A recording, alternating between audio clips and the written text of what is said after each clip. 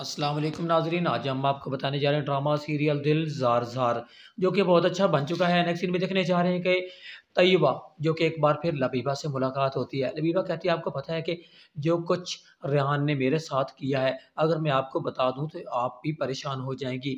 ये बात सुनकर तय्यबा कहती है कि मेरे सामने रेहान का नाम ना लीजिएगा, क्योंकि जो कुछ रेहान ने मेरे साथ किया है, उसने तो मेरी ज़िंदगी ही बर्बाद कर दी। अगर शोभी मेरी लाइफ में ना होता तो शायद आज मैं ज़िंदा भी ना होती। ये बात सुनकर लबीबा कहती है कि आपने जो रेहान से शादी नहीं की, आपने बहुत अच्छा किया है, क्योंकि रेहान ने मेरे साथ मंगनी तो करवा ली, लेकिन वो मुझे अपने तरीके से चलाना चाहता है। लेकिन मैं ऐसा कुछ नहीं कर सकती, क्योंकि मैंने उसे जवाब दे दिया है और अब मैं कभी भी उसके साथ रहना भी पसंद नहीं करती। ये बात सुनते ही तयबा कहती है कि आपने जो भी फैसला किया अच्छा किया है, लेकिन अब किसी भी किस्म की मैं रेहान थी को माफ़ी नहीं दे सकती। ये बात सुनकर लबीबा कहती है कि वही हमारे दोनों का कसूरवार है, क्योंकि उसने मुझसे भी ऐसा ही